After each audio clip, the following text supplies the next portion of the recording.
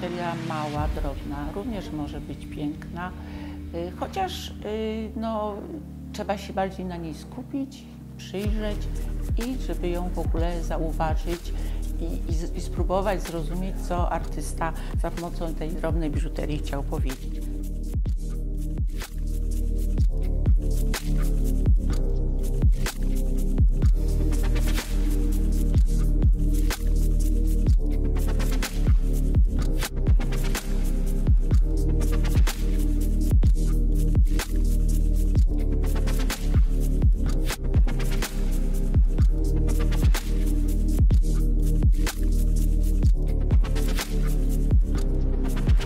Teraz Państwa zaskoczę.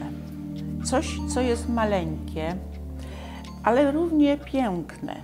Są to, jest to praca, która powstała na y, konkurs y, legnicki.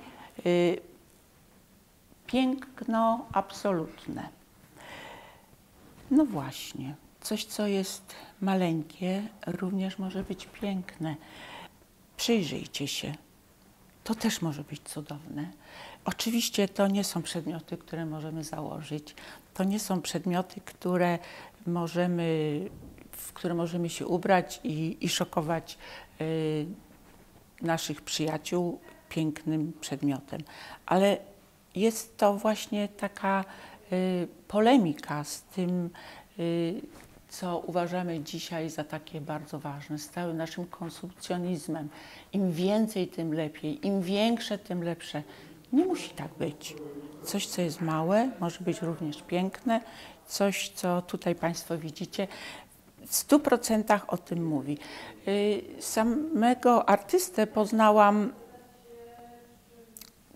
jeszcze jak był w szkole, y, studiował y, biżuterię na Łódzkiej Akademii.